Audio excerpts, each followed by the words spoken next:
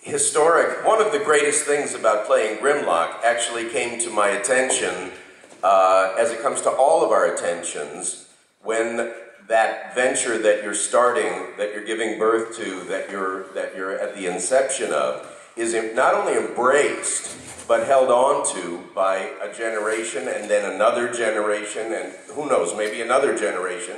And the, the, the fandom for this game, which made itself evident to us, uh, just sort of gave us all uh, that, that extra layer of frosting that what we were doing was resonating and was working.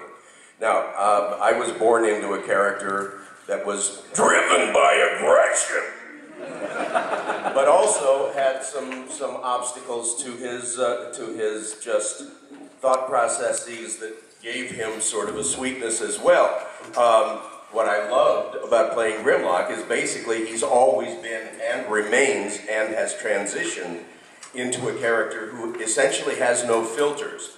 His strength, his strength, which may also uh, be a liability at times, is that he has the capacity to go ready, fire, aim. So he, he may jump into a fray before giving it measured thought. Well, that's, that's uh, incredible for an actor to be able to play. Not hot-headed, just so single-mindedness, single-minded in his purpose that if, if uh, he wants to hear cocktail war stories, that's what he wants.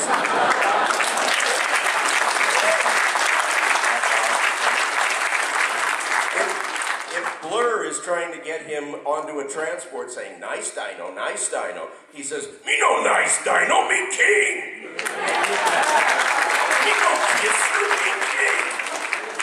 Anyway, uh, it's just an example of whatever, whatever, he's reactionary to whatever it is that he hears or does. That makes him a fearsome uh, ally uh, in the cause, uh, and, and it also, uh, to answer your question, is the joy of having been allowed and being allowed and uh, looking forward to continuing, continuing to be allowed to, to give him voice.